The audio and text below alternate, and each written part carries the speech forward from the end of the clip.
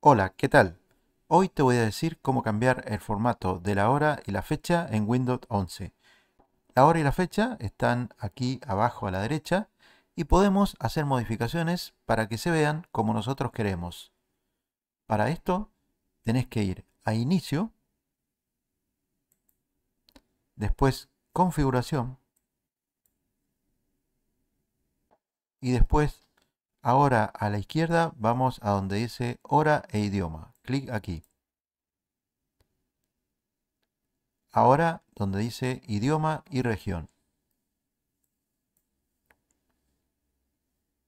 Bueno, estamos en idioma y región y vamos a ir a esta parte que dice región. País, región, lo dejamos como está, yo lo tengo en Argentina.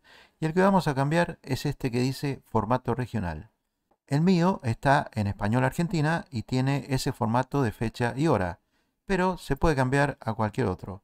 Por ejemplo, lo puedes cambiar a español México y aparece el formato de 12 horas, o sea, AM y PM y abajo la fecha. Esto que aparece acá no es importante porque no se va a modificar nada por cambiar los formatos. Todo lo demás de tu computadora va a seguir igual. Si querés hacer más cambios, haces clic a la derecha de donde está el país y después vas donde dice cambiar formatos. Y aquí tenemos para modificar. En fecha corta va a modificarse como se ve la fecha. Por ejemplo, puedo hacer clic aquí y ahí cambia acá ahora como se ve la fecha. Bueno, hay varias opciones. Cualquiera de estas puedes usarla. Después tenemos la fecha larga, que hay dos opciones en este caso.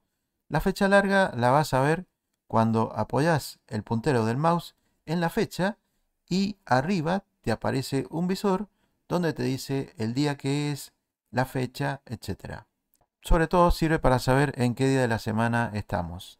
Otra cosa que podéis modificar es donde dice hora corta y aquí podés volverlo al formato de 24 horas. Pero bueno, yo lo había cambiado al de 12 horas.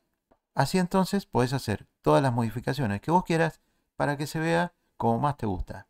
Una cosa más te voy a decir, por ejemplo, vamos a volver. Si vamos a donde dice español España, aquí está España Internacional. Y vamos a modificar un poquito más, cambiar formatos. En la hora corta, por ejemplo, puedes hacer que aparezca con la H. Es decir, por ejemplo, 16 horas 37 minutos como en mi caso. Y así puedes hacer muchas más modificaciones cambiando el país y después cambiar formatos. Así, como ves, tenés muchas posibilidades para cambiar esto. Si este tutorial te sirve, dale like a me gusta. No te olvides de suscribirte al canal para conocer todos los secretos de Windows y usarlo de la mejor manera. Chao, hasta el próximo tutorial.